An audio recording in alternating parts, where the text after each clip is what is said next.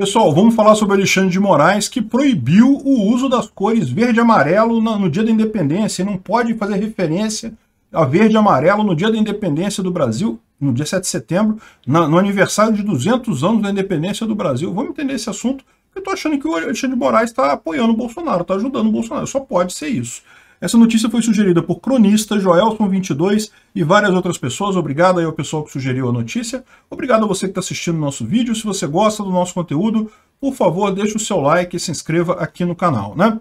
Então, olha só o que aconteceu, né? O, a gente está fazendo agora no dia 7 de setembro, daqui a pouco, daqui a duas semanas. Sem ser semana que vem, na semana seguinte, é dia 7 de setembro, na quarta-feira, é, é o aniversário de 200 anos da independência do Brasil. Então, não apenas é o aniversário do Brasil, como é um aniversário redondo, aí, 200 anos de independência do Brasil, então, evidentemente, estão planejadas muitas festas nesse período. Né?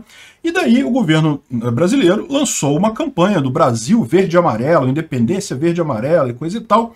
E aí o que aconteceu? O Alexandre de Moraes vetou, disse que não pode, porque isso é propaganda de candidato, isso aí está interferindo com a eleição, é uma propaganda irregular e coisa e tal. De novo, aquele mesmo. Lembra aquela juíza que lá atrás é, é, proibiu a bandeira do Brasil, disse que não podia usar a bandeira do Brasil porque é propaganda eleitoral, porque ela está associada a Bolsonaro? Caramba, esse pessoal é maluco, eles, eles gostam do Bolsonaro, eles querem ajudar o Bolsonaro? Acho que é isso, né? Porque a única coisa que isso faz é, mais uma vez, incentivar o pessoal aí no 7 de setembro. Esse pessoal, na boa, a impressão que dá é que o, Alexandre de Moraes está realmente ajudando o Bolsonaro, está querendo criar polêmica para incentivar o pessoal a apoiar Bolsonaro. Eu só consigo enxergar essa alternativa. Até porque, olha só o que ele falou aqui, ele falou que ia vetar o seguinte trecho da música, né? É, é, é, o presidente do TSE havia destacado os seguintes trechos da propaganda para serem vetados. Brasil, a nação de um povo heróico. Somos há 200 anos brasileiros livres graças à coragem constante porque a mesma coragem de Dom Pedro I, de Dom Pedro, existe hoje em milhões de Pedros Brasil afora. A mesma bravura de Maria Quitéria existe em Marias empreendedoras por todo o país. Somos uma nação independente que está escrevendo um futuro melhor. 200 anos de independência do Brasil. O futuro escrito em verde e amarelo, futuro verde e amarelo, hashtag. O que, que, tem de propaganda eleitoral nisso aqui? Repara como é que o cara está dizendo que, na verdade, você ser a favor do Brasil é, é é, votar em Bolsonaro? Você é a favor de pessoas empreendedoras, pessoas de coragem é ser a favor de, de Bolsonaro? Brasileiros livres é porque são a favor de Bolsonaro? O povo heróico é porque é a favor do Bolsonaro? Caramba, bicho, o cara só está elogiando o Bolsonaro em última análise, está dizendo que, caramba, realmente Bolsonaro pegou todas as palavras-chave da, da, independência do Brasil e pronto, é tudo dele, né? Dominou tudo no final das contas. Sobrou porque o Lula vai falar o quê, né? Não, vamos, vamos fazer uma independência do Brasil vermelho, vamos destacar uma revolução comunista e não sei o que lá. Só sobrou isso pro Lula, pô. Enfim, é... é um futuro melhor, Brasil que escreve um futuro melhor, não sei o que lá, poxa. É, enfim, Bolsonaro criticou muito a decisão dele e, de fato, depois ele voltou atrás. Mas ele ainda tirou algumas coisas, tá? Ainda teve alguma coisa que ficou para trás. Ele falou, não, que a, a, a, decisão era temporária, ainda estava sendo elaborada e por erro material foi colocada no sistema a decisão, ou seja, culpou o estagiário, demitiu o estagiário dele lá que botou a decisão. É, foi ele mesmo que botou a decisão. É que ele botou a decisão, só que depois ele, ficou, ele arrependeu, viu que deu merda, né? Deu ruim. Aí falou, não, culpa do estagiário, o cara clicou no botão Enter ali, a decisão foi antes de ficar pronta e coisa e tal. E daí, o que, que, ele, o que, que ele mudou no final das contas? Ele ainda tirou a palavra proteção das nossas famílias.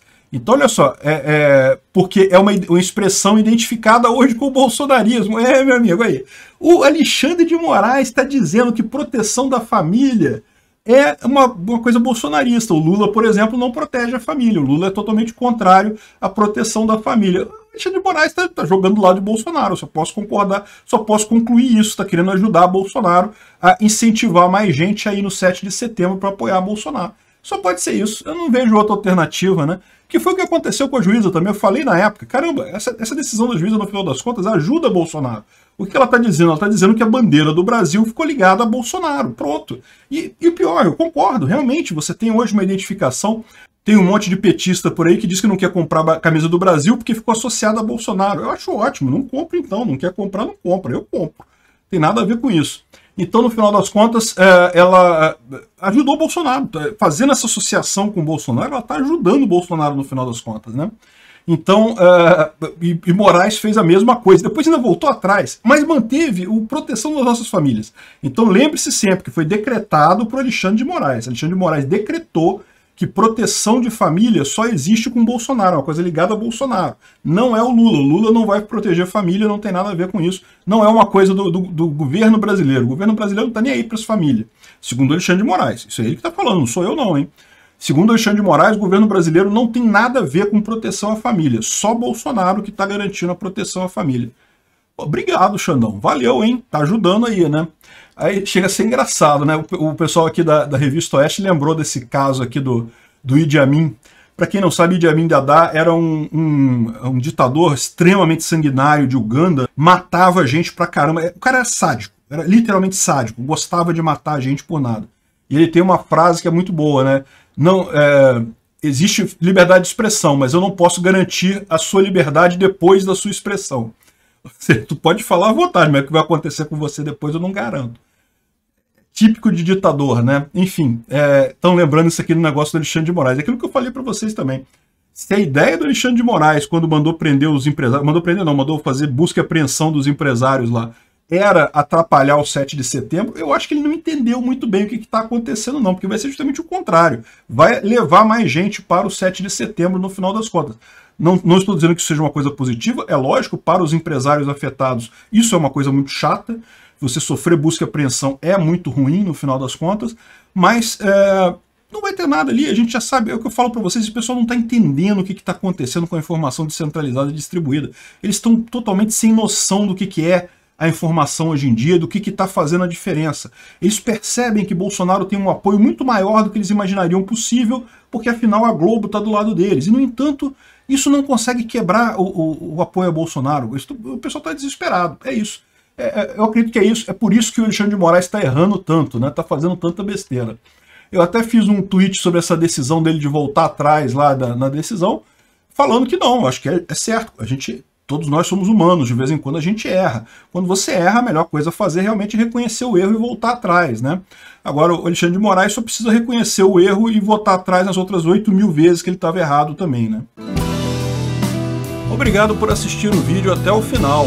Além de curtir, compartilhar e se inscrever no canal, considere se tornar patrocinador com valores a partir de R$ 1,99. Clique no botão Seja Membro abaixo para saber as condições e vantagens de patrocinar o canal. Mais informações sobre o nosso projeto, visite nossos sites indicados na tela.